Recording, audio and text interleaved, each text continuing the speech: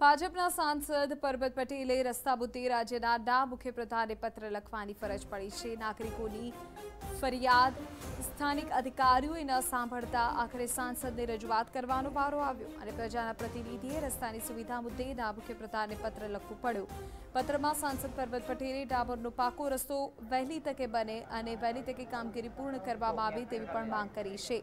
મહત્વપૂર્ણ છે કે કરણપુરા, ભોરડું અને કુંભારા કેસડા વચ્ચેનો માર્ગ બિસ્માર બધા સ્થાનિકોને ભારે હાલાકીનો સામનો કરવો પડી રહ્યો છે.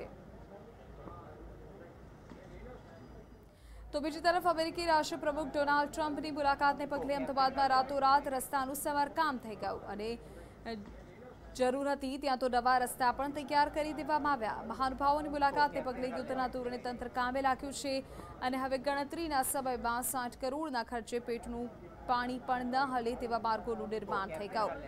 એક તરફ રસ્તાની સુવિધા માટે ભાજપના સાંસદે રાજ્ય સરકારને રજૂઆત કરવી પડે છે, તો બીજી તરફ રાતોરાત રસ્તાની સુરત બદલાઈ જાય છે.